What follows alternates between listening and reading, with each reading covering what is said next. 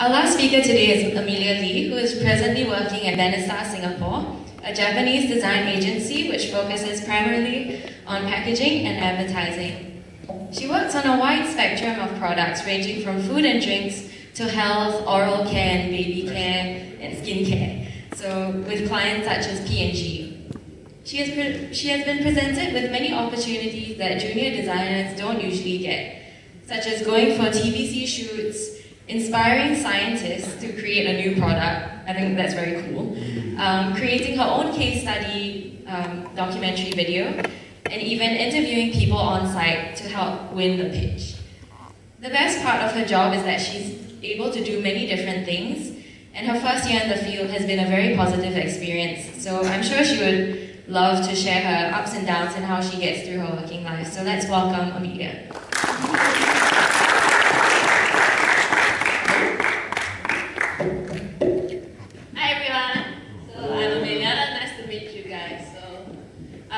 say that it's really good to be back, but I want to say that maybe uh, like I want I was like maybe there, but no, I wasn't last year because I actually overslept. So yeah, so yeah. So thank you for giving me this day off from work today to be here with you. yeah, so I was really excited to do this talk because I think I have lots of things to share with you guys. And congratulations, you guys have made it. And I know the journey has been tough and now you guys are still doing your design show and all, but it's gonna be over soon, so don't worry. And for design show, just like a little advice, try to be at your booth as much as you can because you never know who you'll meet. For me, I met so many people and sometimes when I was there, maybe I'm just like talking with my friends, not really just talking to the to like those industry people all the time, but take it as a time to reflect on your life or maybe catch up with friends, people who, who whom you haven't have gotten the chance to talk to. And then let's say when someone stops by your booth, then hey, just go over and talk to them. And also, I also like to emphasize to go for all the interviews. Like, for example, I had I had things that I really didn't want to go for, like maybe being a designer for a bike shop, things like marketing, there was like digital, there were so many types. But for me, I think it's important to go for all because firstly, you would think of like who would want to hire you, how many so-called jobs you would get. So it's a kind of a self-satisfaction thing for once. And also, you will get to get your work out there because it's not every day that you get to get people to see your work so easily. So yeah, try to go for everything that you can. I mean, sometimes you may think that it's like a waste of your time, but to me, I think it's something that you will never get again. So now you might be thinking, what should I do? So definitely, you should rest and play first. And then, for me, I actually started working because I wanted to try out what I actually uh, learned in school. So some of you may be studying, that's totally fine, but my advice is try to rest before you actually start working because you won't have like school holidays anymore. You only have like maybe 14 days of leave, so that's really important. So, uh, for me, I actually work in Bannister. I work, it's a Japanese design agency, so there's one branch in Tokyo, one in Singapore. And we are a strategic branding company, so we actually do strategy, packaging, and advertising, all of this in total to tell one full story. These are some of the works we do. We actually focus a lot on FMCGs, fast-moving consumer goods such as hair care, skin care, oral care, fabric care, there's all the type of care. yeah, and so as you can see, there's the packaging side and also the advertising side. So it's kind of nice how we actually have a two different like sides of the of the company, so I can get to learn both sides. So not just totally ads, not just totally packaging. And it's really interesting to work with Japanese because the way they think is really different. So why did I choose this company? Honestly, I just go by my gut feeling. I felt like, hey, this is right. Because I actually didn't go and research on what type of companies to choose or like oh which is the best company out there. I actually just took all the name cards I got from my design show and I just went for all the interviews and chose from there. Because I I so called uh, believe in so called fate. So yeah. so maybe maybe some of these things that actually help me some, like, yeah, to, to so called, uh, what's that? To settle on the job. Firstly, the mentor, you have to know who you'll be under and whether you even have a mentor. Because I know in some places you may not even have a mentor. And a mentor is really important to help you grow because you would know that they're not using you just for to slog your work out and all. Then working hours as well, I mean it's very often that you will OT. But make sure that you don't spend your whole life in the office. That's important for me. I don't know for you guys. Maybe yes, some of you want to work in the office all day. But for me, I need my work-life balance. So work for a job that you don't mind OTing for sometimes. Get someone that get your boss to actually uh, say that when you have things to go for, they let you go. But you manage your own time. You plan your own time. And things like the environment. For me, Actually, my gut feeling came from the environment because when I actually stepped into the whole company, I felt very cozy and comfortable. So I think that's something that you want to feel good about when you go into the office and see whether that's a place you want to work at. And oh, location also is really important. Okay, because I mean traveling doesn't matter. For me, I live in Yishun, so coming to school every day is 1.5 hours.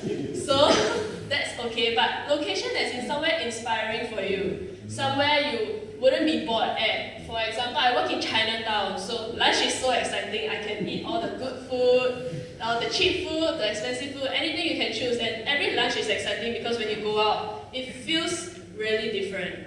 Last time I interned in this uh, industrial area, so I had three canteens. Lunch was really boring. So you, you want to take that in consideration as well. And then the start date as well, like I said, try not to start immediately. That's for me. I don't know for all of you because I wanted to rest. I think a well-deserved break is really important. And how keen they are to actually hire you. You can see it, by the way, when they interview you, when they talk to you, how much they want to groom you, not just use you. And also pay definitely it matters, but for me, I would choose a lower pay for a good environment. And yeah, honestly, works come secondary to me as compared to environment and people. Because you want to go to somewhere that you're happy to go to every single day. So feel inspired, feel excited, and feel happy to go out. So these are some of the stuff I actually work on. I'm not going to go in depth into them. Currently, I'm working on Taiwanese fruit juice packaging, and I'll be starting on a global sports brand next week. So yeah, there's so many things I did like all these, I had like video stuff to do, packaging stuff, ads, and innovation. So it's really quite cool. I'll, I'll share with you one of the work that I did. This one was for Nissin Pitch. We pitched for the Nissin instant noodles. There were like two parts to it. So we are doing, they're launching a new product soon. And this one is for their existing product, which is mee goreng. So the brief was to come up with something that is for their packaging. But we were thinking, what if everyone else also does packaging? What would make us stand out from the rest of them?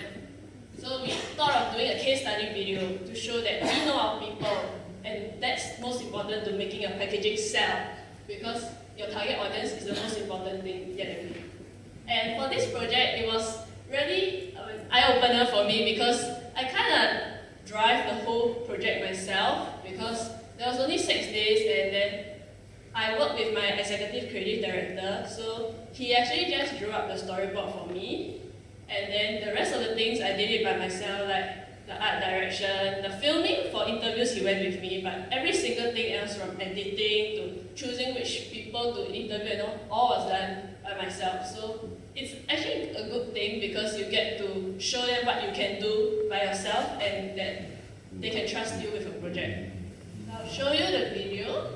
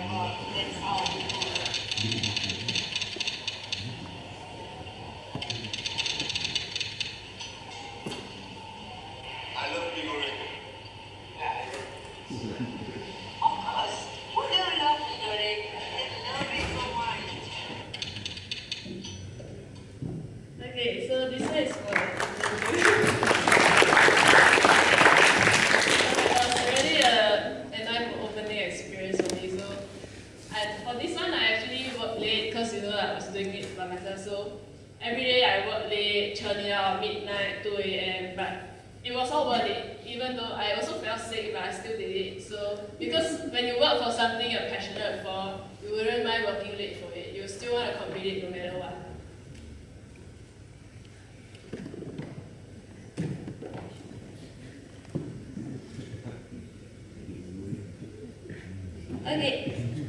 So the next book I want to share with you is the Sing. Do you all know Seng Choon eggs? Yes, yes, yeah, yes. Yeah. So my company actually does the advertising for them, and we actually we start we launched another TVC recently, and for this one I was shadowing my creative head on the whole process of TVC because I think it was really interesting because we went to like goat farms to film and then also different HDBs. So I got to see the whole process from storyboarding all the way to choosing the talent, working with the production company Little Red Ants. So I don't know if you all know Heng well, but I actually got to meet her too. And then also we, so we talked about the talents, like which talent casting, what wardrobe, which location. So the whole process I was involved in and I could share my opinion, though I wasn't driving the project. But there were so many key learnings that I could learn from my creative head. So I'll show you the video.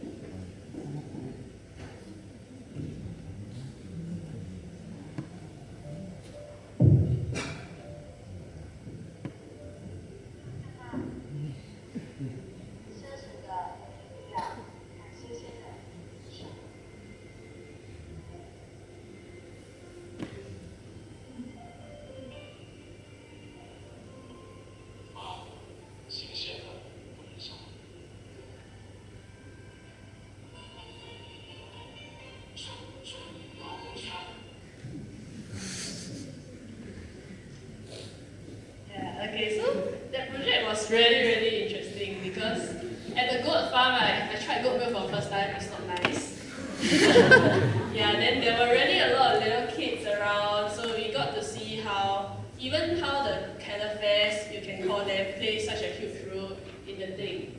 And First, as the advertising company, we have a screen, so we look at it and then we art direct like things like oh what we want, what we don't want, and then we just work together, especially with the food stylist. Food styling is really cool, so we got to see how they created all those egg egg products. So a lot of them are not like totally real eggs, so they put a lot of ingredients. So it's kind of nice how you see how these food stylists make all these things interesting. and I also want to share a few packaging projects. So these packaging projects are things that really train your precision because you realize that you have to be meticulous when you do all of these projects because maybe like if it's 5 mm offset that doesn't matter to you but it matters so much for these type of big brands for example Pampers so I'll be sharing with you the Pampers so how do you actually be creative in such a established brand? How do you introduce, like, how do you not break the brand equity but yet introduce new things into the brand? So that's the challenge you have in packaging. And I tell packaging for these type of companies are really not easy. So this is for an example of how a pack will look. I mean, it doesn't look too difficult to do, right? So this is how a typical technical drawing will look. So we'll be given the die line and then we'll work on the design itself. So they have very, very different amount of tiers. So we, for this, the challenge is we don't just design for, let's say, one pack. There's small, medium, large. There's like tape pants, tape and pants. There's like low count packs. So there's like maybe 10 diapers, 50 diapers. All the, the technical drawings are really, really different. So how do you make your design work for all the, the all of the technical drawing guidelines? So we actually come up with this so-called, you, you want to say brand book, it's called design guidelines. We have one whole huge list of, of brand guidelines to follow, but this one is for you to pass on to the to the adaptation company because there will be like hundreds of different technical drawings. We will come up with the master master technical drawings and then we'll give it to them and they will adapt throughout. So if you want to talk about what you apply, you learn and apply in school, the corporate identity part where we learn the, the what's that, the brand book, something like that. So we state our rules, we make our rules and you have to make sure they all work. So we'll be working on let's say maybe seven of these master designs and you have to make sure that everything works. So it's really not easy and the deadlines are really tight. So packaging isn't that simple as it seems and look at the amount of rounds that we'll go through just for one. So I think it's like 14, there were 14 rounds for this. So it's really a very long process. You must have patience. You must really love the brand. If not, you will get burnt out really, really fast. Because sometimes clients give you like stupid suggestions like, oh, change this to something which doesn't suit their brand, but yet they say you want it to be your brand equity. So how do you actually communicate yourself, communicate your idea, and actually convince the client that, hey, listen to me, or sometimes you just have to give in because client has the last say. And I also did something like video editing for here. We have this, Omron is Japanese lifestyle health brand where they sell things that Mm, let's say uh, maybe like fitness tracker, those kind of things. Yeah. So the Tokyo team actually made this whole TVC, whereas after they, they're done with it, they asked they tasked me to make trailers for it because they want to put it on Instagram. So how do you condense a two minute video into 15 seconds but yet tell the full story again? So I'll show you the first one which is what the Tokyo team did. And after that, I'll show you the one that I did, which was how to capture the essence of the stories. So this, this so-called skill is important because you don't, you want to distill all your artworks. You want to make sure that everything is condensed because in one idea, people can be able to know what you're talking about. So this is the one that the Tokyo team shot.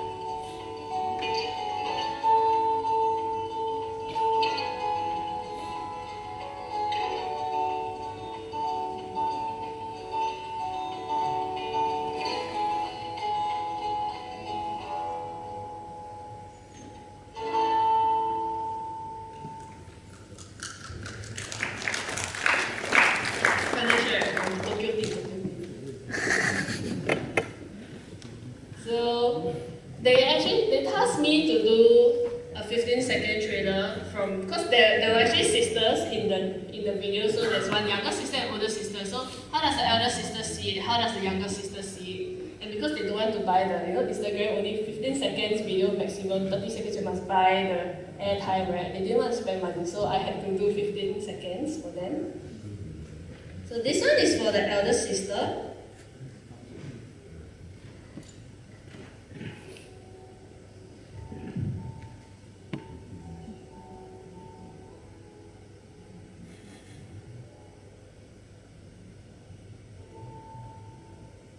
Yeah, so it's things like that, that because they haven't shown the three minute one. So this one is like a sneak preview for the viewers to know what it is about and get them excited for.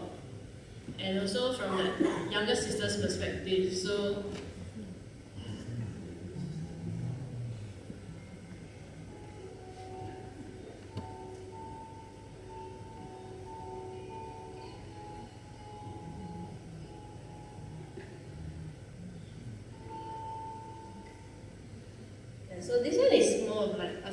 few day project for me.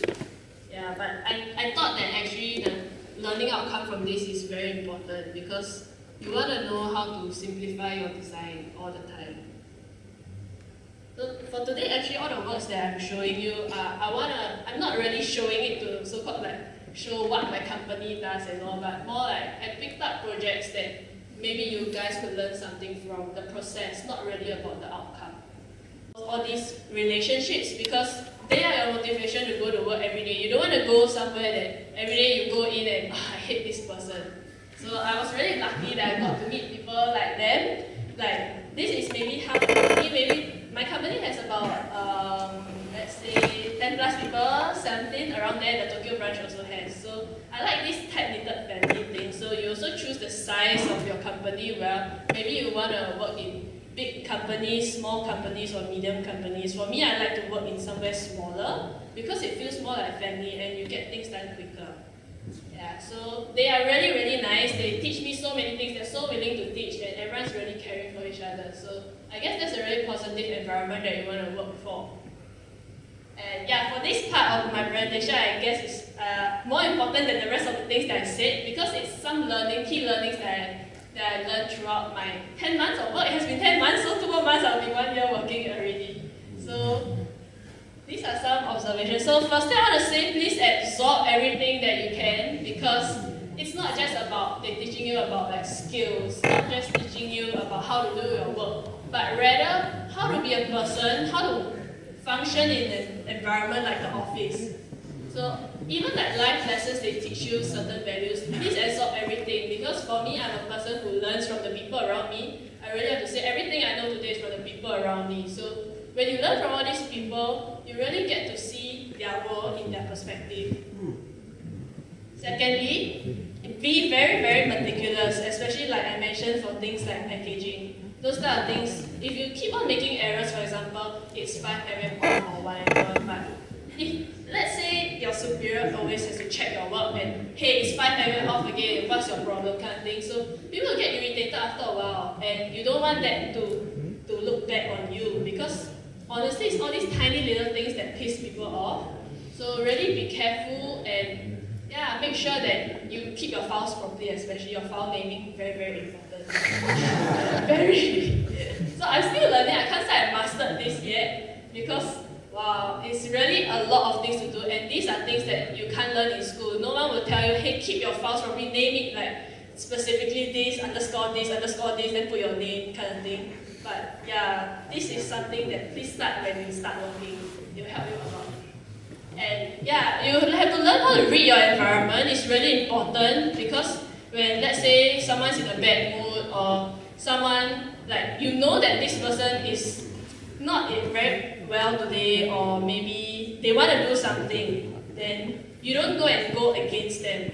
It's something so called, I don't call street smart or something, yeah, but these are the things that will really help you in your working environment because you don't want to be like a good worker. You can do, you can design all you want, but when it comes to these type of people skills, you fail.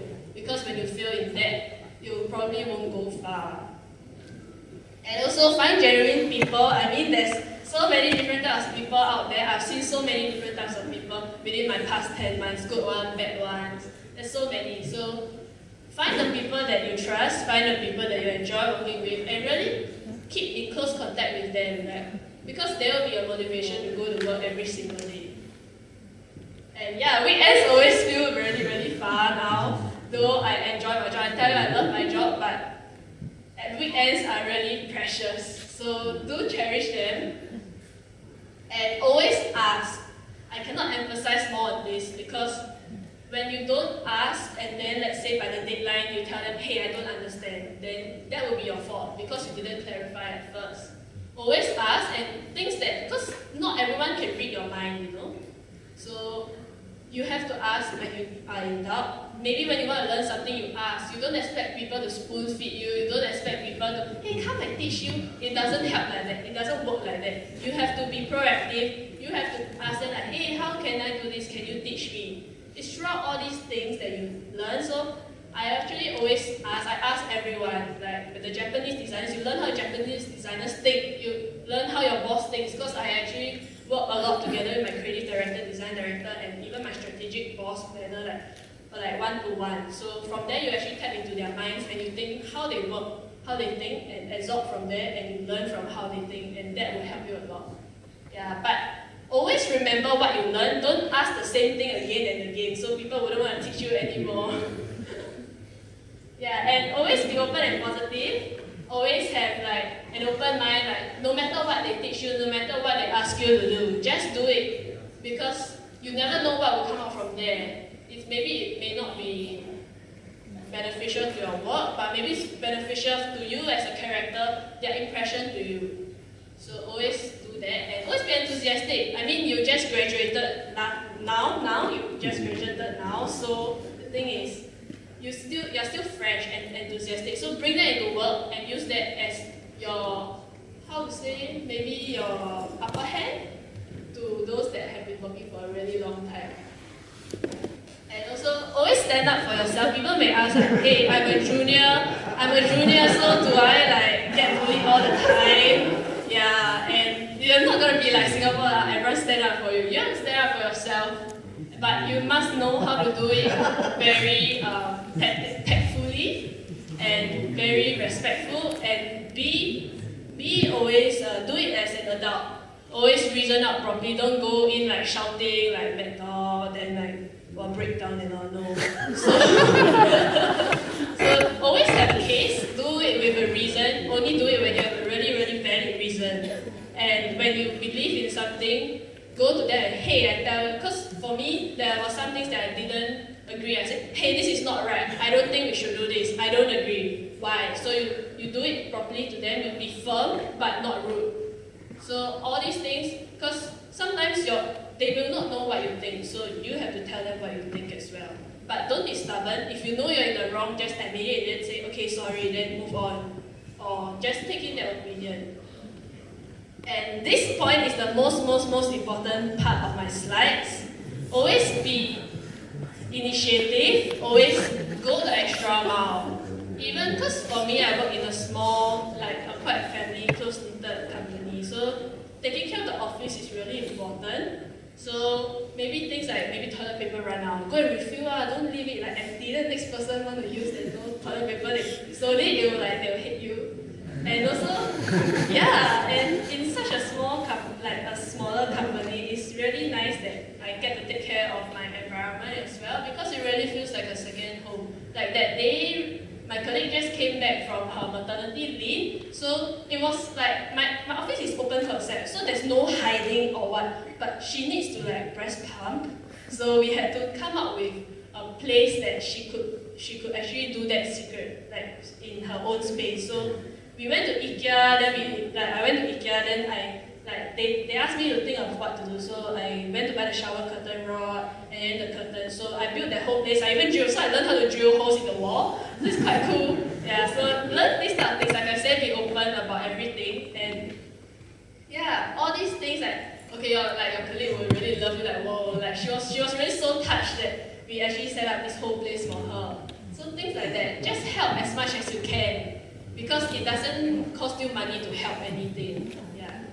So that's the end of my presentation.